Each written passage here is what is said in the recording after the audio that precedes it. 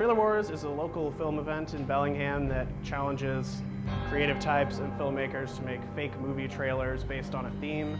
Everybody gets together and watches them, the audience votes on their favorite, and then the winner gets to pick the next theme.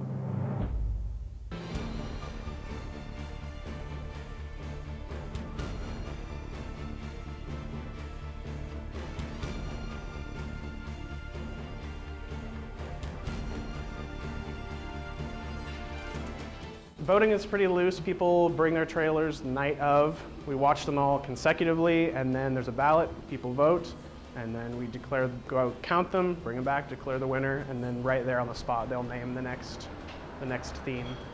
Uh, Trailer Wars started in someone's living room. We all decided, a few of us, to make fake movie trailers based on the theme of zombies, and then we tricked people into coming. We told them there was a party. So people came in and we said, oh, just Trailer Wars, it's not a party, sorry. And then the next time we did it, there was one more, and the next time there was one more, and after five or six, eventually the Pickford let us do it there, and we've kind of been growing since then, and lots of places around town have been nice enough to let us do Trailer Wars there. At this point, this is number 24. We've done themes as diverse as musicals, like I said, zombies, we did westerns, 80s teen comedies, heists, sports movies, etc., all kinds of stuff. I think the cool thing about Trailer Wars is that it's open to everyone, no matter what kind of camera you have or what your experience level is. We encourage people to come out. We've had trailers shot on uh, phones, iPhones, anything. The point is just to get out and be creative and have fun.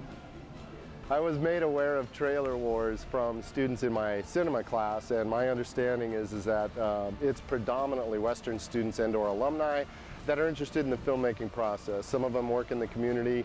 A dominant number of them are from the campus, and it's grown in popularity every single term that I've been here.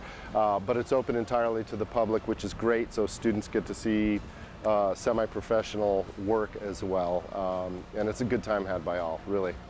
Anybody who hasn't been to Trailer Wars before should definitely come just because it's a lot of fun. It's a fun creative outlet for people around the community and also like people who want to get into filmmaking, anything like that. It's a really great chance to get your stuff seen and get audience reaction and just to get experience of your own. Um, make trailers. We, we do trailer wars every month and so every month you can make a trailer.